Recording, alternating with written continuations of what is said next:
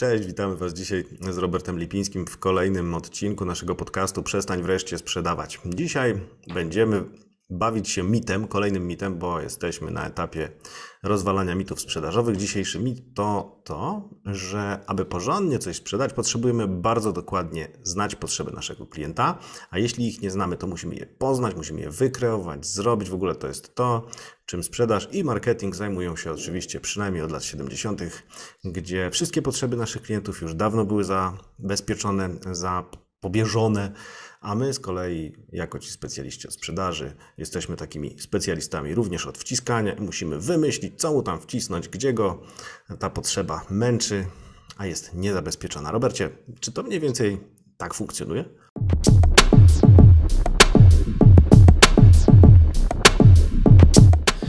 Cześć Tomek, e, witam wszystkich e, w kolejnym odcinku. Mm, czy tak to funkcjonuje? No i tu jest kolejna rzecz, którą myślę dzisiaj sobie przedyskutujemy, bo moje zdanie jest nieco inne na ten temat. Na to liczę. Mm, I myślę, że będę starał się tutaj powalczyć z Tobą i dowieść, że, że to zdanie jest słuszne. Oczywiście mm, istnieje coś takiego jak potrzeby, prawda? Mhm. I każdy te potrzeby gdzieś tam w jakiś sposób zaspokaja. Natomiast warto sobie postawić pytanie, i o tym dzisiaj porozmawiamy, czy aby potrzeby są tym czymś, co jest kluczowe do tego, żeby odnieść sukces w sprzedaży. Mówię teraz z perspektywy sprzedawcy. Czy poznanie mhm. potrzeb klienta jest czymś kluczowym i niezbędnym? Znaczy, to jest chyba w ogóle niedyskutowalne, no bo jeśli ktoś nie ma jakiejś potrzeby, to w jaki sposób my możemy mu ją zabezpieczyć tym naszym produktem, usługą czy, czy, czy czymkolwiek innym, co w zasadzie chcemy sprzedać. Tak, tylko warto tutaj rozróżnić e, na poziomie może na razie semantycznym e, mhm. słowo potrzeba od innych słów, które można użyć w tym miejscu. E, ja lubię używać słowa ból albo wyzwanie i zastanowić się na tym poziomie nad tym, czy faktycznie potrzeba jest tym czymś, co determinuje o zmianie jakiegoś status quo. Mhm. Ja stawiam taką tezę, że niekoniecznie. Mhm. E, I, jakby zmierzam tutaj w tym kierunku, że weźmy sobie taki przykład e, własny albo nie wiem, kogokolwiek, kto nam przychodzi do głowy. No, każdy z nas ma jakieś potrzeby. Mhm. My te potrzeby y, możemy podzielić na, na różne poziomy. Potrzeby mogą być jakieś bardziej naturalne, mogą być związane z, w ogóle z naszym życiem, tak, funkcjonowaniem. Mówimy tu o jakichś potrzebach związanych z jedzeniem, piciem, snem i tak dalej. No i to są takie potrzeby na poziomie ludzkim, które faktycznie, jakby jeżeli ich nie zaspokoimy, to prawdopodobnie. To mamy duży problem. To mamy duży problem. Natomiast mhm. jest cała masa potrzeb, które również określamy tym samym słowem, natomiast one mają zupełnie inne znaczenie dla naszego życia.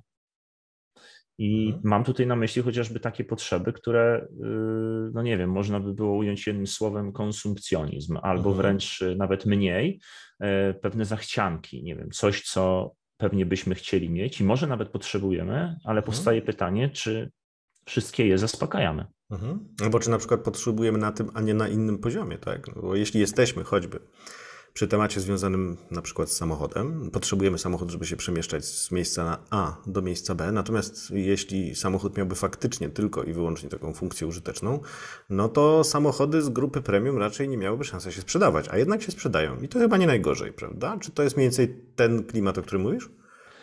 E, chyba jeszcze też nie do końca. Znaczy, mhm. fajnie, że to rozróżniłeś, tak? Czyli e, są różne poziomy, nazwijmy to, adresowania potrzeb, i, mhm. i na pewno mm, każdy z nas e, ma inny poziom akceptacji, nie wiem, czy kosztowych, czy nakładowych, jakichkolwiek innych, na to, żeby daną potrzebę za, zaadresować czy zaspokoić. Natomiast ja bardziej zmierzam do tego, że gdybyśmy sobie wyobrazili taki świat, w którym te potrzeby faktycznie, tak jak je nazywamy, czyli tym konkretnym słowem, e, to jest coś, co jest niezbędne do tego, żeby nie wiem, rozwijać biznes, prowadzić sprzedaż, y, sprzedawać jednym słowem, to oznaczałoby mniej więcej, że y, każda potrzeba, którą odkryjemy, wykreujemy, poznamy, dowiemy się, to jest coś, co klient chce bądź musi zaspokoić. I teraz, jeżeli, jeżeli sprzedawca postawi sobie taki, mm, jeżeli sprzedawca zacznie w ten sposób myśleć na temat potrzeb, czyli ta potrzeba stanie się dla niego pewnym, nazwijmy to, driverem do tego, żeby sprzedawać, to bardzo często wpada po prostu w ślepy zaułek, ponieważ nie każda potrzeba e, wymaga zaspokojenia. Na tym poziomie to rozróżnią. Okej, okay, dobra. To jak ty to w ogóle do tego podchodzisz? Bo e, to, że nie wszystkie nasze potrzeby czy też zachcianki zaspokajamy, wynika z wielu, z wielu różnych czynników, prawda? Natomiast e, to, że my jakieś zachcianki nie zaspokajamy, nie oznacza, że nasz sąsiad tego nie zrobi, prawda? Więc być może to nie jest kwestia tego, że my nie potrzebujemy szukać tych, którzy potrzebują zaspokoić swoje zachcianki, tylko e, po prostu do złych ludzi się odzywamy, nie? I, I, kluczem jest ta segmentacja ludzi na początku. Ten potrzebuje, ten nie potrzebuje, to ja się odzywam do tego, co potrzebuje, a potem już lecę ze skryptem. Tylko skąd możemy wiedzieć, czy potrzebuje? No po to mamy lejek, nie?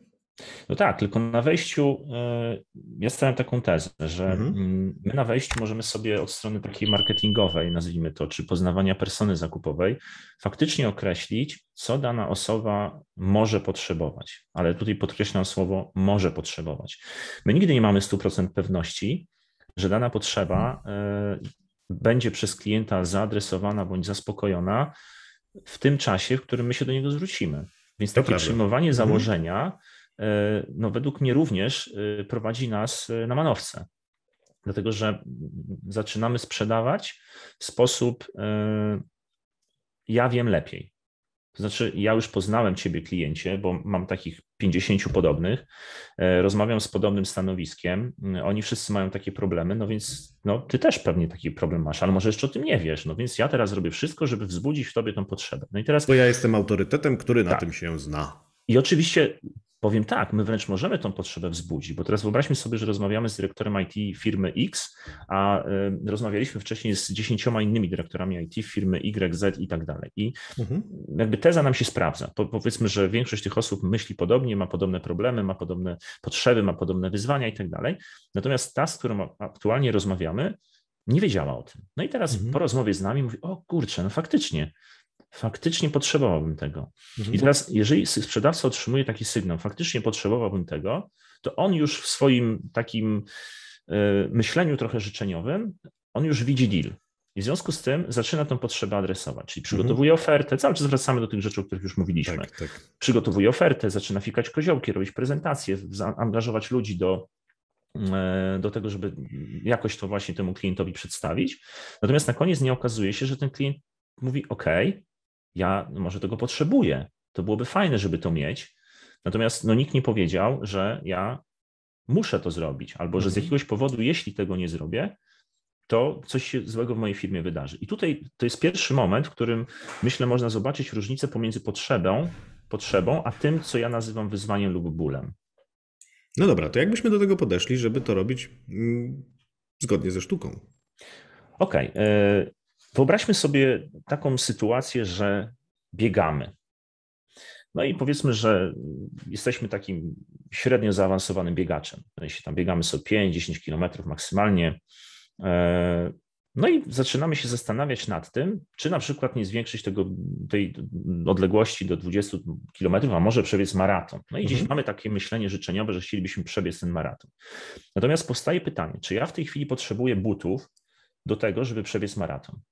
Oczywiście. One no właśnie chyba niezbędne. nie. One są niezbędne. A, znaczy na poziomie marketingowym na pewno, mhm. bo być może one mnie zmotywują do tego, żeby lepiej trenować i tak dalej, i tak dalej. Ale de facto to, czy ja kupię te buty dziś, czy kupię za pół roku, bo tyle zakładam, albo rok, bo tyle mhm. zakładam, będzie jakby y, tyle mi zabierze przygotowanie się do tego dłuższego biegu, no to, to tutaj jest pytanie, czy ja powinienem tą potrzebę zaadresować wtedy, czy dopiero później.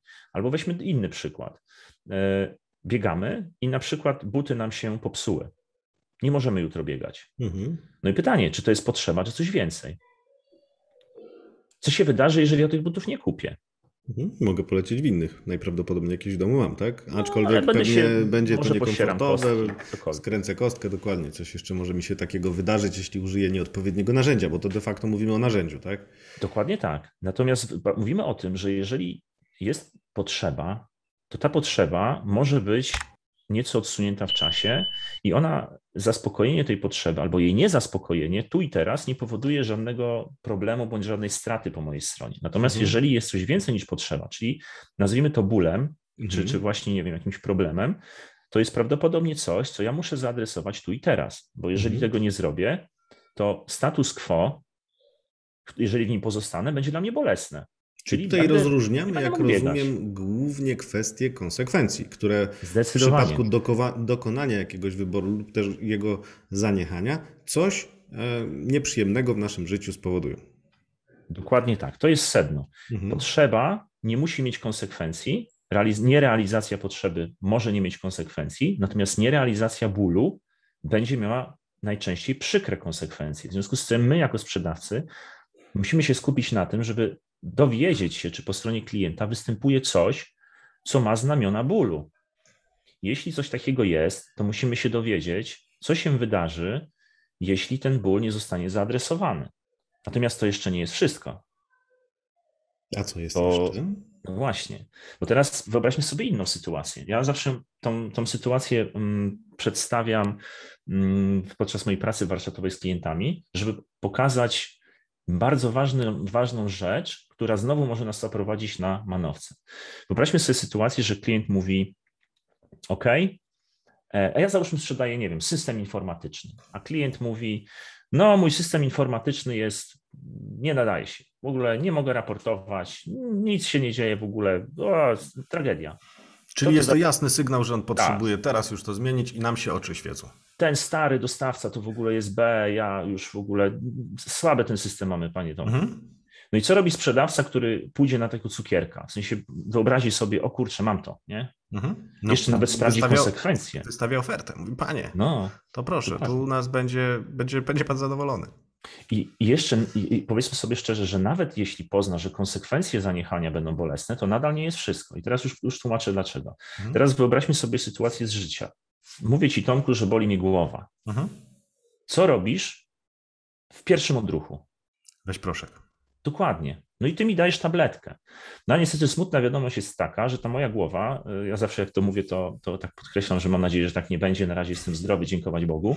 Natomiast wyobraźmy sobie, że, że przyczyna bólu mojej głowy bólu mojej głowy, dobrze powiedziałem, mm -hmm. leży w czymś zupełnie innym niż to, co zaadresujesz tabletką. No bo załóżmy, jeżeli mam migrenę, nie wiem, yy, może wczoraj długo posiedziałem, a może byłem na imprezie, no to prawdopodobnie pomożesz. Natomiast -hmm. jeżeli jest jakaś inna przyczyna bólu głowy, która jest absolutnie niezwiązana z tymi rzeczami, o których powiedziałem, to ta tabletka wręcz ona może mi zaszkodzić, bo ona może uśmierzyć ten ból, mhm. natomiast ona nie zrobi jednej bardzo ważnej rzeczy, nie usunie przyczyny. I dokładnie jest to e, istotne w, w kontekście rozważania nad tym e, różnicą pomiędzy potrzeba, ból, wyzwanie i tak dalej, żeby oprócz tego, żeby wiedzieć, czy występuje konsekwencja zaniechania, wiedzieć, jakie są przyczyny tego, że ten ból występuje. Mhm. I dopiero wtedy możemy tak naprawdę zacząć myśleć o sprzedawaniu, bo teraz wróćmy do tego klienta, który miał ten system. No i ten klient mówi, no ten system jest zły i tak dalej. I ten sprzedawca A mówi, ok, super, to ja ci taki system dostarczę, mamy taki, on robi to, on robi tamto, on wszystko robi to, co ty mhm. mówisz i składa ofertę. A ten klient potem na to patrzy i mówi, do swojego zespołu, mówi, słuchajcie, weźcie mi to sprawdźcie, nie? bo tutaj przyszedł mi taki sprzedawca z tym, z tym systemem, bo my tutaj nic nie możemy zrobić. No i okazuje się, że przyczyną tego, że, e, że ten system nie działa, wcale nie było to, że ten system jest taki B, albo że ten dostawca jest taki B, tylko na przykład osoba, która obsługiwała, poszła na urlop, albo nie mhm. wiem, zachorowała, albo nie umiała, nie miała kompetencji, trzeba ją przeszkolić, mm, albo nie wiem co, być może trzeba nowy serwer po prostu postawić, bo ten, na którym stoi ten system, jest niewydajny. Jest masa różnych przyczyn, które mogą powodować, że sytuacja obecna klienta jest nie taka, jakby chciał. Mhm, jasne. Ale myśmy tego wcale... nawet nie zbadali. Dokładnie tak. Więc jakby pokazuje to na takim poziomie, żeby sprzedawcy, którzy mm, byli przez lata uczeni, że trzeba wygenerować potrzeby, trzeba poznać potrzeby, że te, jak się zna te potrzeby, to trzeba je zaadresować, żeby przeanalizowali sobie te momenty albo te sytuacje w swoim sprzedażowym życiu, w którym mieli to wszystko, a i tak nie sprzedawali. Mhm. I myślę, że to będzie takie dobre, dobre ćwiczenie dla każdego, żeby na poziomie tej nawet semantyki zacząć odróżniać te dwa e, pojęcia, tak? że, że potrzeba nie zawsze musi oznaczać to samo, bo nawet możemy sobie wyobrazić, że to, co, to, o czym ja mówię, nazywamy potrzebami, ale musimy mieć świadomość, że muszą wystąpić konsekwencje i musimy mieć świadomość, jakie są przyczyny, że to występuje i co więcej, ostatnia rzecz mega ważna, musimy mieć świadomość, że jesteśmy w stanie zaadresować przyczyny. Mhm. Przyczyny musimy zaadresować. To jest istotne. Tak jest. I jeszcze pewnie wypadałoby mieć świadomość, że ta zmiana powinna nastąpić teraz, a nie w ciągu nie wiem, roku. Dokładnie, bo to jest kolejna pułapka. Fajnie Tomek, że o tym powiedziałeś. Kolejna pułapka, jakbyśmy patrzyli sobie na... Yy, poczekaj, na... poczekaj, poczekaj. Ja bym urwał, okay, drodzy dobra, Państwo, dobra. o tym, że coś takiego jak istotna mm, pilność danego bólu jest faktycznie ważna w sprzedaży, o tym pogadamy sobie z Robertem przy okazji kolejnego odcinka, bo dzisiaj mieliśmy mówić o potrzebie, o bólu, o wyzwaniu i co się z tym wszystkim łączy. I myślę, że wystarczająco dużo, Robert, na ten temat już porozmawialiśmy. A tymczasem zaproszę Was na stronę przestań wreszcie sprzedawać.pl, gdzie można nabyć książkę e, naszego fantastycznego Roberta, w którym te, te rzeczy, o których rozmawiamy, są zebrane do kupy. Można to doczytać, wdrożyć, no i przestać w końcu sprzedawać, żeby sprzedawać. Jakkolwiek to brzmi. Robercie, dziękuję Ci pięknie za dzisiejszy Dziękuję odcinek. bardzo. Zastanawiam się, czy nie zmienić tego tytułu na przestań wreszcie gadać, ale... to by było niemożliwe. Wiesz. Ale ja jak się rozkręcę, to mogę długo, także dzięki Tomek, że uratowałeś e, naszych słuchaczy. Wszystkiego dobrego, trzymajcie się ciepło. Prosimy oczywiście o lajki, subskrypcje i to wszystko, co w danym programie, z którego korzystacie, można wygenerować. Do zobaczenia przy kolejnym odcinku. Pa! Cześć!